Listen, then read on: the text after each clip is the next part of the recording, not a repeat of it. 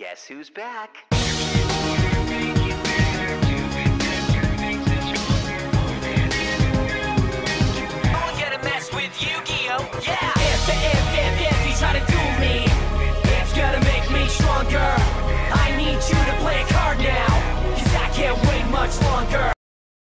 Veliki pozdrav ljudi i dobrodošli u novi video. Kao što vidite po samom naslovu, danas ćemo malkice spomenuti dve veoma poznate franšize. Jedna je Yu-Gi-Oh, a druga je Beyblade. Zašto? Pa jednostavno, u kontinuitetu od kada je kanal Ultra nastao, njih možete da vidite kroz razne serijale.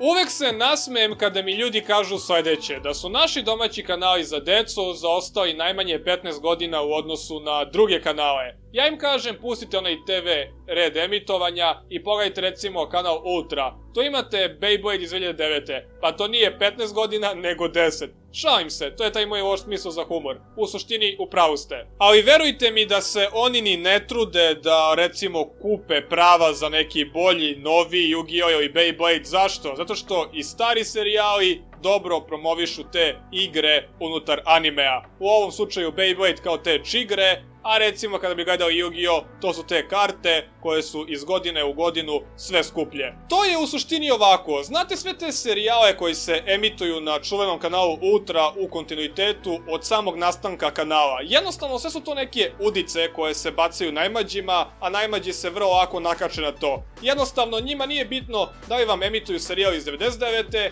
ili iz 2019. sve dok se promoviše isti proizvod. Naravno, oni prvenstveno gledaju sebe, zbog toga će vam pustiti određeni Yu-Gi-Oh! ili Beyblade koji ima najjeftiniju licencu, to jest najjeftinije ga je kupiti da ga emituješ na određeni period. I zbog toga imate lupam već 5 godina Yu-Gi-Oh! Zexal i taj Beyblade iz 2009. Ali fora je ta što oni znaju da je danas sve dostupno i oni čim vama pokažu igru, vi ćete se sami informisati o svemu. Da li tako što odete recimo u neki card shop ili neku prodavnicu igračaka ili recimo pretražite po netu.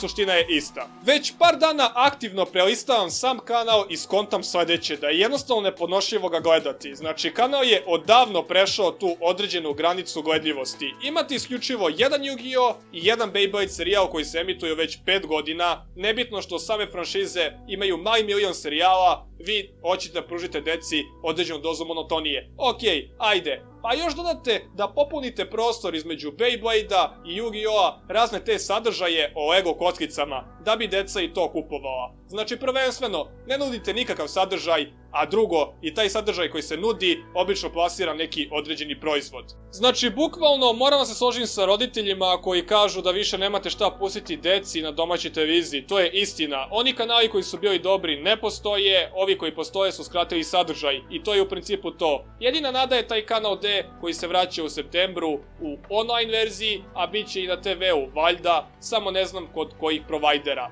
Tako da u suštini i dalje ima nade za našu domaću televiziju.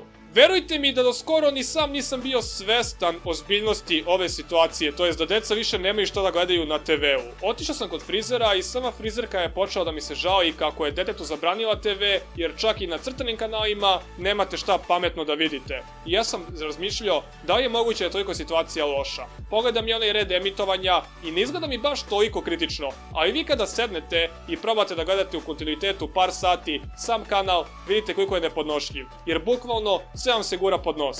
Stvarno je tužno kada vi uzmete, sednete i razmislite o nekim stvarima, pogotovo o TV Ultri, to je saberete utiske, kakav je nekad bio sadržaj, kakav je sad. Da se ne lažemo, i tada su se pasirali razni proizvodi, ali sve to bilo dosta podnošljivije. Jedina nada, to je poslednja nada za decu, jeste upravo taj kanal D koji će se uskoro vratiti. To je bilo to što tiče ovog videa, nadam ste uživali, a mi se vidimo u nekom sledećem. Do tad, veliki pozdrav!